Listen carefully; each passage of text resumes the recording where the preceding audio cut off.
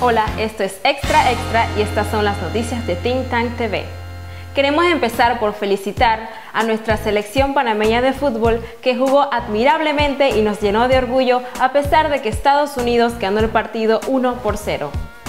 La Real Academia Española presentará en el próximo Congreso Internacional de la Lengua Española de Panamá su nuevo portal de Internet con acceso gratuito a todas las obras de esta institución. Este portal incluirá la ortografía y la gramática.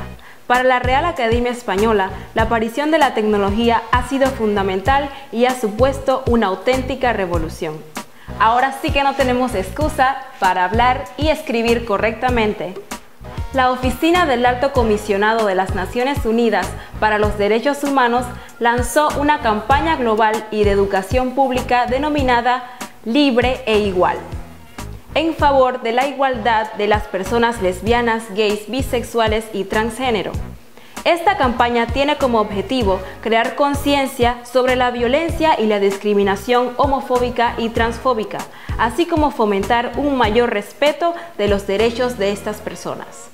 Para esos virriosos y fanáticos de los videojuegos, ahora podrán usar toda su creatividad cuando Microsoft les ofrezca la oportunidad de crear sus propios videojuegos y publicarlos de una manera interactiva con la consola Xbox One.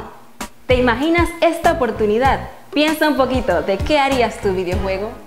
Si el Papa Francisco no está de acuerdo con el despilfarro de dinero, entonces tampoco estará de acuerdo con que usen los terrenos de nuestro patrimonio nacional para construir una inmensa estatua. Por eso los invitamos este domingo 4 de agosto en las áreas verdes frente al Figali Convention Center al picnic Arte Cine Protesta por el no malgasto de nuestro patrimonio. Allá los esperamos.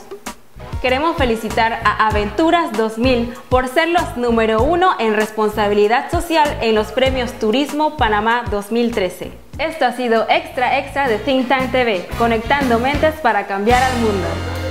Oye, ¿por qué me cortan